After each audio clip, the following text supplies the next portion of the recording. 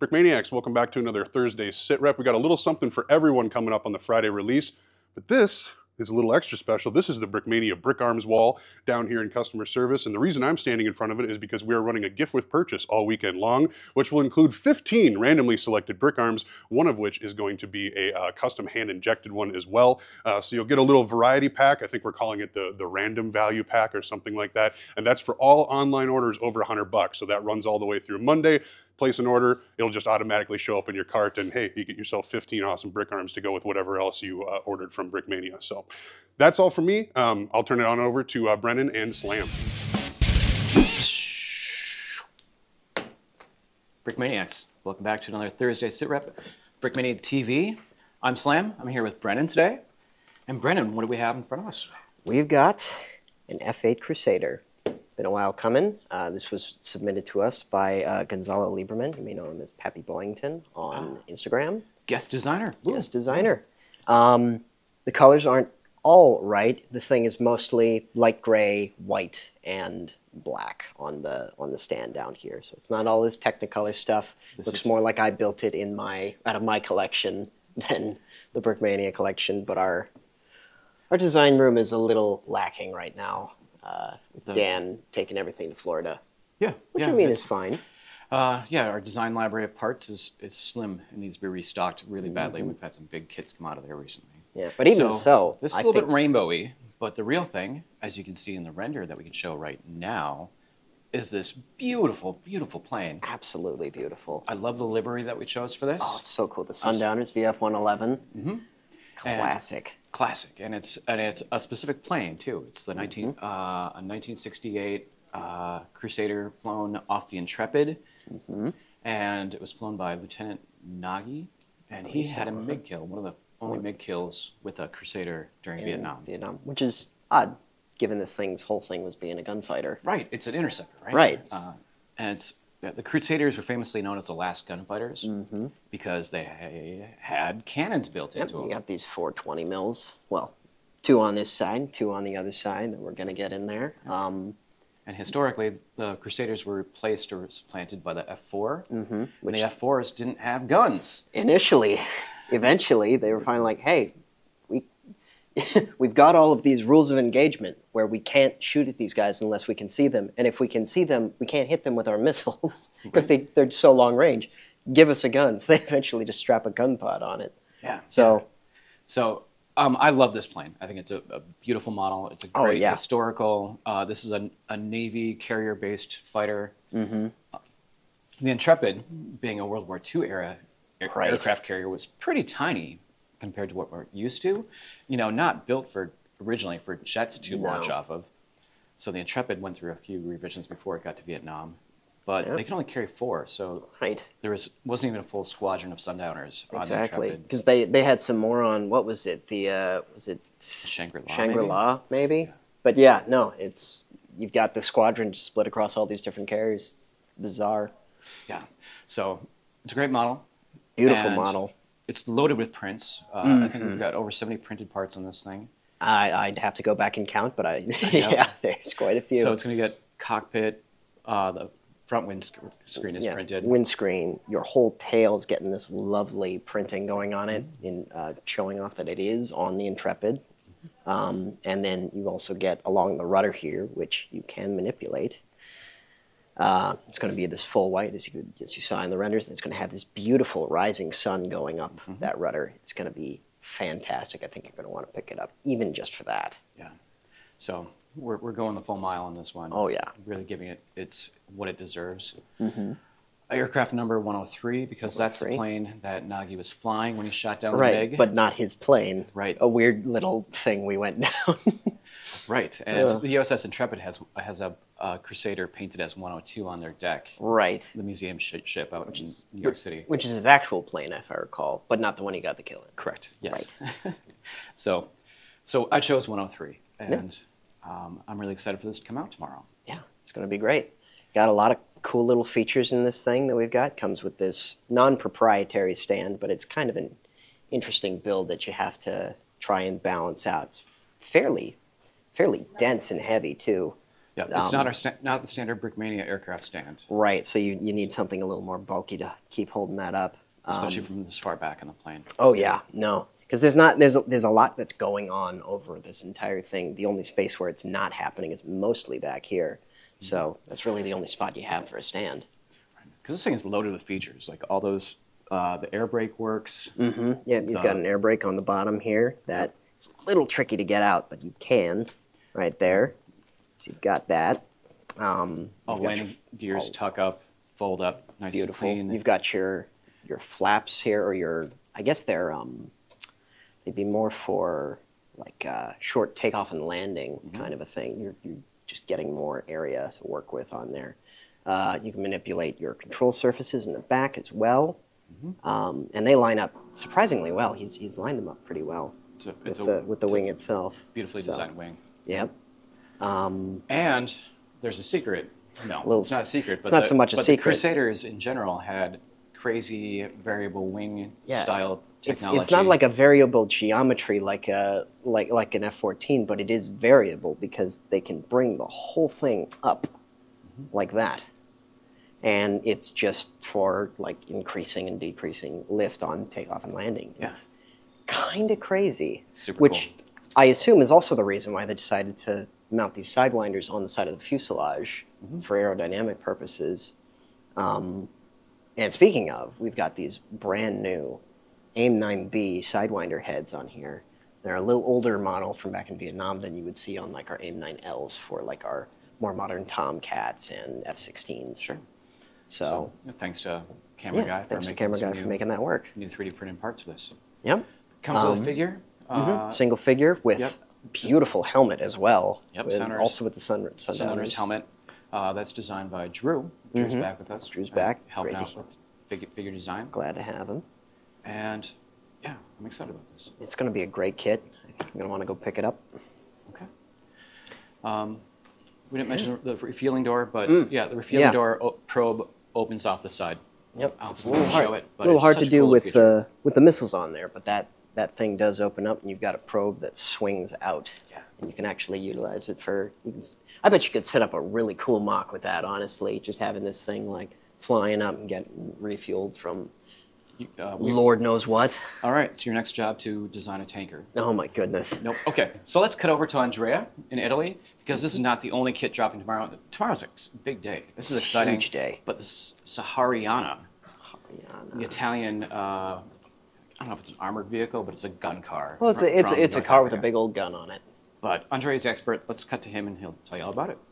Welcome back, Maniacs. Welcome back to the Italian Design Studio. Andrea here, and today we are finally revealing my new Italian kit. Lots of you have been asking for more World War II Italian stuff, and you may know that's my area of expertise per se. So, ladies and gentlemen, the brand new kit from Brickmania is the AS42 Sahariana.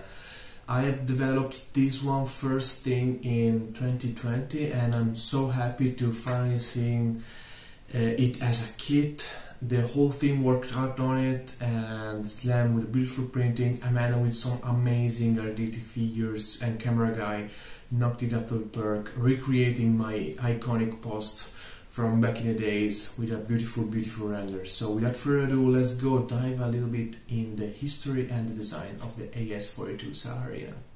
So let's take a closer look at the vehicle itself. A little bit of history first. Uh, for those of you that are not familiar with this particular vehicle, so basically the Italians had the idea of creating an, uh, a unit that would mimic uh, LRDG and SAS tactics in the desert. And other than the extensive training that this unit uh, uh, underwent, and by the way, this unit was called the Arditi a reminder of World War One Italian shock troops that fought in trenches. So these Arditi, Arditi company trained in tactics, uh, long range, uh, long range desert group tactics. So uh, long period of time uh, in the desert, deep behind enemy lines, and they needed a specific vehicle for that purpose. And this is what came out. So the Italians had out of experience with Italian trucks, they've been fighting in the desert uh, for a long, long time when World War II broke out. So lots of their uh, desert trucks were actually very, very good vehicles, and this was specifically uh, designed uh, to uh, endure long-range missions in the desert while being very light and very uh, very powerful powerful engine uh, powerful armament that can that you can by the way switch. You get both options both the anti-tank gun and the Breda 20 millimeter uh, anti-aircraft gun. You also get one machine gun that you can place either in the front or in the back. And there's space for your driver and you have seats inside as well like the real thing so uh, this is basically a three-in-one because if you see pictures of these uh, in action, you can see them both without weapons and with weapons on. So this is actually a three-in-one, not a two-in-one.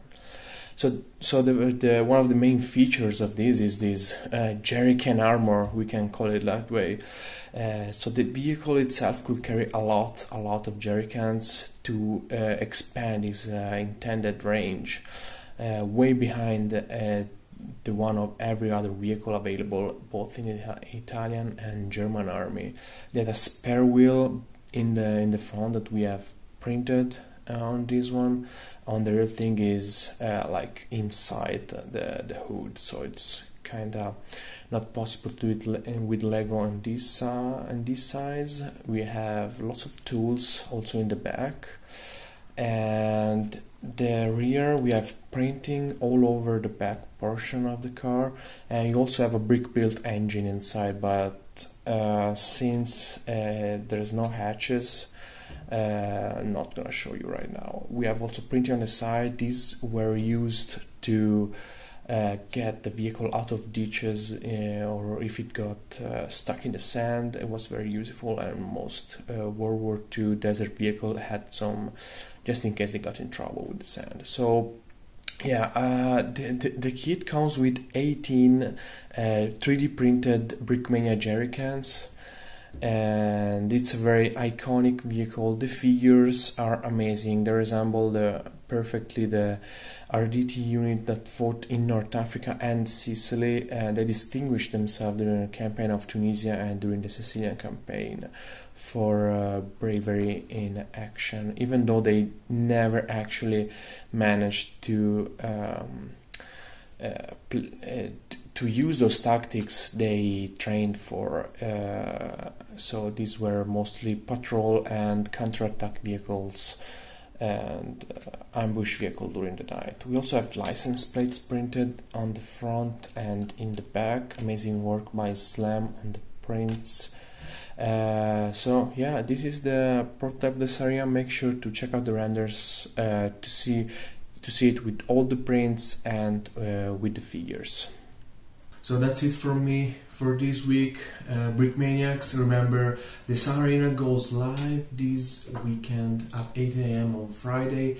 Uh, it's gonna be for pre-order until uh, Monday. So jump on it because it's iconic, it's beautiful, it's a must-have for every North Africa mock and every uh, North Africa collection. So jump on it while you can. See you next time. All right, thank you, Andrea. Thank you, Brennan. Yeah, this is a cool plane. I love it. Yeah. Um, quick note on the uh, on the uh, build that Andrea was just showing off. So we do have I wouldn't I wouldn't necessarily call it an upgrade, but as you know, we don't exactly do a lot of World War II Italian stuff. Mm-hmm. Um, we had we had planned to release a World War II Italian paratrooper coming up in the future here, and because we don't offer a lot of opportunities for that, if you get in on the uh, pre-order and want to secure some of those paratroopers as well, they don't necessarily like go together other than the fact that they're both Italian. But we figured that if you're getting in on that pre-order anyways and you would want to pick up figures during the release week that it happened, why not just give you the chance to be able to secure them in your pre-order? So you can add up to four of the World War II Italian paratroopers with your pre-order if you want to secure those for when they release and, you know, swell your ranks of your Italian army. Sounds good. Yeah, yeah. nothing wrong with a little upgrade there. Yeah. Um, we've also got some stuff ready to ship, which I suppose uh, we'll we'll have to get ready for a designer studio for the Typhoon. So you'll see Brennan again back up here fairly soon because that is shipping out the door. which is awesome. That's a cool plane. It's a beautiful plane. Yeah, Brendan did a great job on that. Yeah, really, really unique look to it. Um, Type 94 truck is also getting ready to ship. And then we've got um, a World War II uh, British Rifleman torso and the American Civil War Union Army torso. And then something a little special. Dan got back from uh, BrickFair, Virginia, and came back loaded with some brick arms that uh, he was able to link up with Will and, and bring back with him. So we've put them online. So they are now available for you guys to pick up. Um, quick note on them: the base color that we have is black, and then there's a whole bunch of random colors, which is Oh. always kind of fun. Yeah. So if you're daring, select the random option, and if you want to know exactly what you're getting, just select the black option. So all of these have those have, have fun options, and then there's a couple of overmolds available as well uh, for the Bolt rifle uh, SL and the Bolt rifle itself. However, we're literally talking like I think there's like nine. Oh, Yeah, like, yeah, not like when I say limited quantity, I mean like limited, limited quantity. So if you want to get in on those overmolds, those will be available too. Do you know what these are from? We were kind of guessing. Devin thought that maybe these were Call of Duty because the Val was popular in Call of Duty, and then I thought maybe these kind of looked like Warhammer esque. I don't know. Yeah, I don't know either, Yeah, bold. but they look cool. So Good looking. Okay. go ahead and use them for whatever you please. That's the that's the Well, fun creative leave, leave part a of things. comment down below to tell us what they're from. You have to tell us what they are. tell us what we're showing off. I should know. I don't know. Um, the Super Stallion is back on pre-order on Monday. You guys just wrapped up a designer studio for that, right? Correct, we did. And the printing is, is completely wrapped up on that. Everybody got their custom numbers and squadron units. That was a slog for me, for me and the print guys. Mm-hmm. Uh, so it's back. We're going to do another another pre-order for restock. you know, Correct, correct. And, and no custom printing. Nope, the custom deal. printing was only available if you got in on the initial batch. So Yep. that's why you gotta you gotta jump on those early in the weekend, right? Um, the other one back is the UH-1B Huey. Uh, that's the gunship. That'll be back on pre-order as well. Super fun. That's an awesome kit. Um, and then we've got some stuff getting ready to ship too, including the space rocket, the Brickmania Classic Series space rocket, which Oh. came out I think at, at some point when I Uh, wasn't around. But Uh, I, Andreas kit? yeah, exactly. like That's a the- cool little build. Is a build. Yeah, it, it totally it totally kind of looks similar to, to some other classic space stuff that you see out there, but kind of with a Brickmania twist on it, which is cool to see. Um, so that is just a drop. That is that is getting ready to ship. The only pre-order that's now ready to ship is the uh, the Classic Series Tiger One. I think there might still be a couple of those left, but it was a pre-order, so there'll be there'll be fewer. Um, but again, the space rocket is shipping. The 37 millimeter gun, the M3, that's the American anti-tank gun, also classic series, that's shipping. Um, the Type 90 75 millimeter Japanese field gun, classic series again, is is shipping. Um, the Black Ops Squad Pack Part One was pre-ordered, but is now getting ready to ship. So there might be some some copies of that available. Both the uh, U.S. Army and U.S. Marine riflemen are back. Um, the Classic Series World War II U.S. Army Rifleman is back. The Classic Series German Heer Rifleman is back, and the Classic Series uh, Japanese Rifleman is back. So huge minifig Monday. That's huge. Yeah, that's Uh, awesome And some see. great Army Builder figures in that batch. So, yeah, get on it. Yeah, if you're getting ready to, to do some building, make some mocks, or head to one of the many many shows that Dan will be attending coming up in August. I think he's got one every single weekend. He said five shows in seven weeks. This one's in Tampa next week. Sioux Falls. After that, my brain goes a little blank, but he's going to be all over the place. So check out that events page because that's uh, that's where you'll find out where it is. It is Lego show season, as it turns out. hmm definitely, Okay. definitely. So, and then stay tuned for more information about the Virginia uh, Capitol celebration, the Capitol Store celebration, as we get ready to do that anniversary. You'll be making an awesome brick, I'm sure. Sure, yeah, I'll do that. yeah, uh, yep. You always hit those out of the park. They're I so am just now thinking about that for the first time. Like, I will have to do that. Yeah, we'll, we'll we'll pull out all the stops for that. Probably build a rando, all that kind of fun stuff you expect from those anniversary events. So stay tuned for more information there. Otherwise, Cool. thanks for watching. All right, we'll see you next time.